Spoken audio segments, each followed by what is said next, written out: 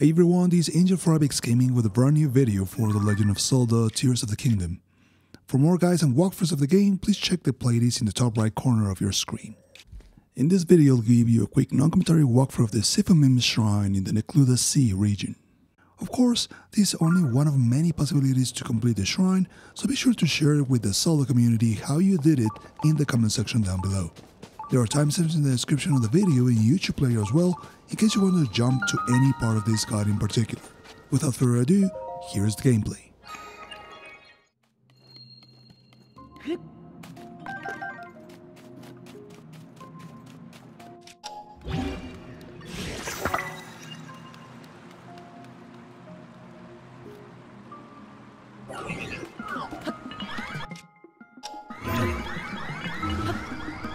What?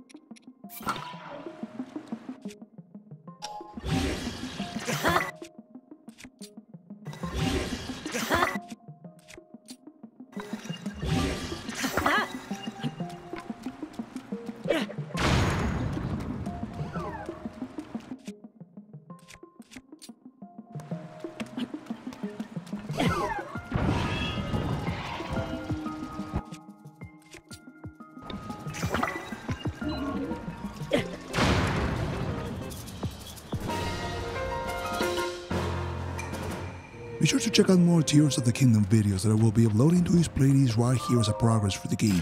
But for now, I hope this was useful, thank you for watching and keep enjoying the game.